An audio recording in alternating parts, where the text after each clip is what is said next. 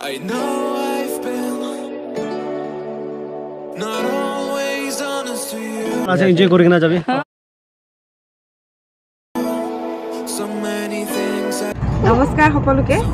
আমি গৈ আছোঁ নাগালেণ্ডৰ উষা ডিষ্ট্ৰিক্টৰ দৈয়াং হাইড্ৰ' প্ৰজেক্টলৈ গোলাঘাটৰ পৰা এয়া গৈ আছোঁ আৰু ফকাটিং হৈ গৈছোঁ এয়া ফকাটিং পালোহি আৰু। গোলাঘাটৰ পৰা চাৰি ঘণ্টামান লাগিব যাবলৈ আমি গৈ আছোঁ। লগ পাম চাই থাকিব ভিডিঅ'টো। আৰু আমাৰ লগত আছে এয়া ভাইটি ৰুবু। আৰু আহি আছে এখন গাড়ী পিছত আপোনালোকক দেখুৱাম চাই থাকিব ভিডিঅ'টো। আমি পালোহি এয়া মেৰাপানী মেৰাপানী বজাৰ পালোহি এয়া বজাৰ আজি দেওবৰীয়া বজাৰ। মেৰাপানীতে কিবা কিবি কেইটামান কিনিব লাগিব এওঁ গৈছে আৰু লগতে ৰুবুও গৈছে। আমি গাড়ীতে বহি আছোঁ। ভিডিঅ'টো চাই থাকিব খুব ধুনীয়া জেগা তাতে লৈ যাওঁ।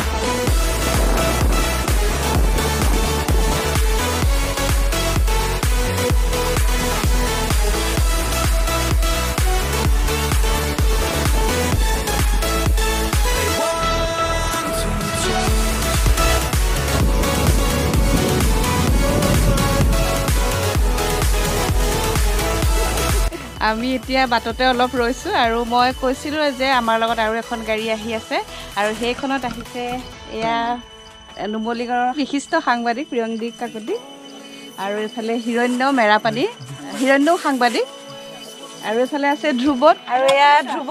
অঁ হাই। বাইদেৱে ঘৰৰ পৰা খুব ধুনীয়াকৈ বনাই আনিছে। আজি আমি দিনটো মানে একদম ভালকৈ খাম বুলিয়ে ওলাই আহিছোঁ আজি আৰু।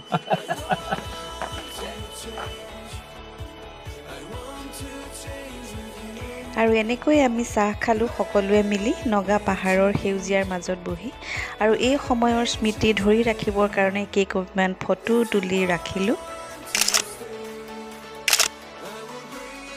এয়া চাহ তাহ খোৱা হৈ গ'ল আমি এতিয়া আকৌ গৈ থাকিম।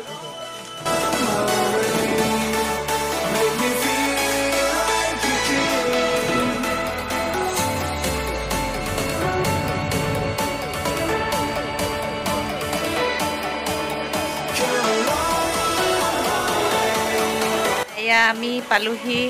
দৈয়াঙৰ এটা কলনী আহি পালোহি আৰু ইয়াতে কলনি আৰু আগৰ। আমাৰ অসমৰ গগৈদা আছে শিৱসাগৰৰ গগৈদা। মই গগৈদাক অকণমান চিনাকি কৰি দিছোঁ। নমস্কাৰ গগৈদা। এইটো কলনি ওৱান নেপপুৰ অঁ। আপুনি ইয়াতে কিমান বছৰ? মই ইয়াতে ত্ৰিছ বছৰ হ'ল থকা এতিয়া নতুন কলনী আৰু। এতিয়া গগৈদাৰ লগতে আমি যাম চামগে। ডেমটো চাম। হয় ডেম চাম আহিলে পাৰা হাউচো চাম। অঁ অঁ। আৰু গগৈদাৰ ঘৰতে আমাক চাহ। তাহ খোৱালে ইয়াত। ভাতৰ ব্যৱস্থাও কৰিছে। সেইখিনিকে দেখুৱাই always এয়া গগৈদাৰ ঘৰতে আমি সকলোৱে চাহ খালোঁ আৰু এইটো গগৈদাৰ মৰমৰ লুলু এটা খুব মৰম লগা কুকুৰ পোৱালি আৰু আমাৰ মাছুমে খুব ভাল পালে পোৱালিটোৰ লগত অলপ খেলিলে গগৈদাৰ ঘৰত কিছু সময় বহি আমি আহিলোঁ ডেমটো চাবলৈ। লগত গগৈদাও আহিছে। আৰু এয়া আমি গৈ আছোঁ দৈয়াং হাইড্ৰ' ইলেক্ট্ৰিক প্ৰজেক্ট চাবলৈ। যাওঁতে পথৰ কাষৰ দৃশ্য খুবেই মনোমোহা খুবেই মনোৰম। এনেকুৱা লাগিছে যেন মই গোটেই ৰাস্তাৰ যি দৃশ্য মনোৰম দৃশ্য আপোনালোকক দেখুৱাম কিন্তু সেয়া সম্ভৱ নহয়।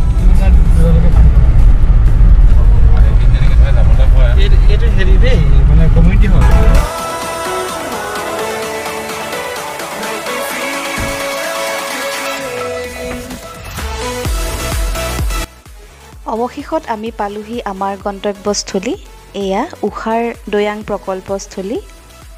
কেনে মনোৰম কেনে মনোমোহা কেনে নান্দনিক এই দৃশ্য চাওকচোন। শাৰী শাৰী পাহাৰৰ মাজে মাজে বান্ধৰ পানী সোমাই এটা সুবিশাল হ্ৰদৰ সৃষ্টি কৰিছে। আৰু এটা ভাল কথা যে ইয়াত এটা হেলিপেডো আছে। এইটো হেলিপেডটো। এইটো কি? এই ঘৰটো? সেইটো এই- সেইবিলাকে কোনোবা কোনোবা মানুহ আলহী আহিলে থাকিব পাৰে।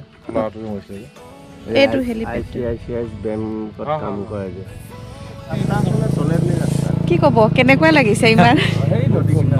এটা সঁচাকৈয়ে ক'বলৈ ইমান সুন্দৰ এটা প্ৰ- পৰিৱেশ যে গোলাঘাটৰ পৰা বহুত দূৰো নহয় প্ৰায় ষাঠি কিলোমিটাৰ দূৰত্বত থকা দৈয়াং এনেকুৱা এটা সুন্দৰ অঞ্চল যে কাৰ্বি আমাৰ নগা পাহাৰৰ অপৰূপ সৌন্দৰ্য প্ৰতিনিয়ত পৰ্যটকক হাত বাউল দি মাতে কিন্তু বিভিন্ন কাৰণত ইয়াত পৰ্যটনে গঢ় লৈ উঠা নাই।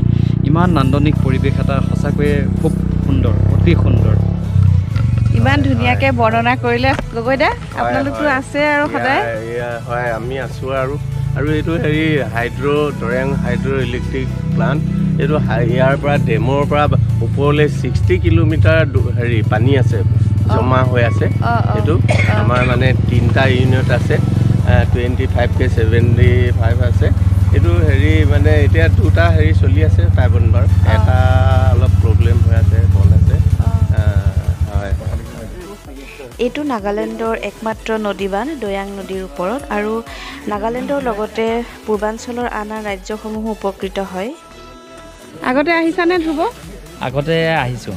আহ, বাৰে বাৰে আহিলে আকৌ আহিবলৈকে মন গৈ থাকে। খুব ভাল লাগে আহি হেঁপাহ আহি পেলাই হয়। ইমান ধুনীয়া। আৰু হিৰণ্য আহিছানে?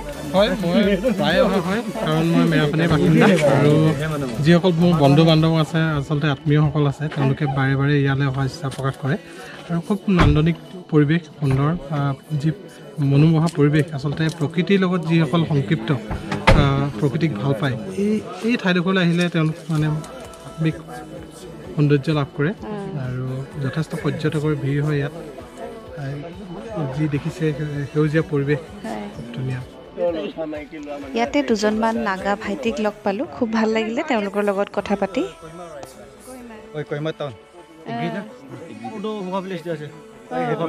কিমান দূৰ ইয়াৰ পৰা? আপোনালোকৰ জেগা চাব আহিছোঁ। ইমান ধুনীয়া জেগা। ফাৰ্ষ্ট টাইম আহিছোঁ। থেংক ইউ কেনেকুৱা পাইছে বাৰু? ইমান ধুনীয়া এটা পৰিৱেশ। বাৰে বাৰে আহিবলৈ মন যায়। আজি আমি প্ৰথম আহিছোঁ মই প্ৰথম আহিছোঁ এওঁ আহিছে আগতে। ইয়াৰ অপৰূপ সৌন্দৰ্য আপোনালোকক দেখুৱালোঁ। এবাৰ আহক যদি অহা নাই ইয়ালৈ ইয়াৰ সৌন্দৰ্য উপভোগ কৰক।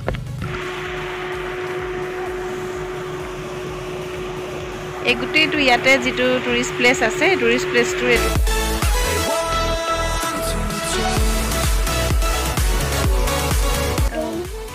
বান্ধটো চোৱাৰ পিছত আমি আহিলোঁ কাষতে থকা এটা গেষ্ট হাউচ চাবলৈ।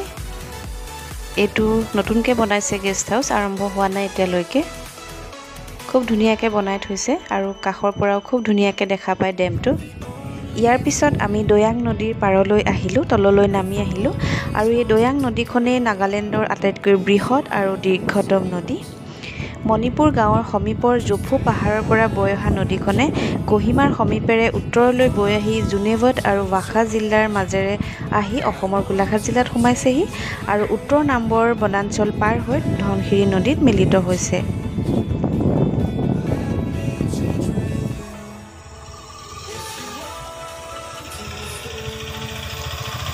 দৈয়াং নদীৰ পাৰত সুন্দৰ প্ৰাকৃতিক পৰিৱেশৰ মাজত আমি সকলোৱে মিলি একেলগে ভাত এসাঁজ খালোঁ।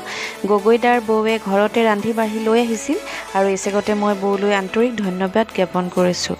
আমাৰ খোৱা বোৱা হৈ গ'ল আৰু আমাক ধুনীয়াকৈ খোৱালে এয়া গগৈদা বৌৱে। এয়া গগৈদাৰ বৌ এইফালে গগৈদা। খুব ধুনীয়াকৈ খোৱালে বৌৱে। খুব ধুনীয়াকৈ ৰান্ধি বাঢ়ি। খোৱালে। ভাল লাগিলে ধন্যবাদ খোৱা বোৱা পালে। আৰু বৌ ইয়াৰে বৌ নাগালেণ্ডৰে হয়।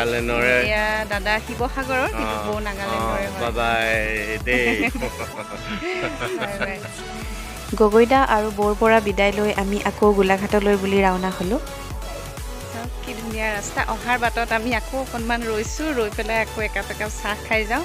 ঘৰৰ পৰা চাহ লৈ আহিছিলোঁ চাহ খাওঁ। চাহ খাই পেলাই একেবাৰে ঘৰলৈ গোলাঘাটলৈ গৈ আছোঁ।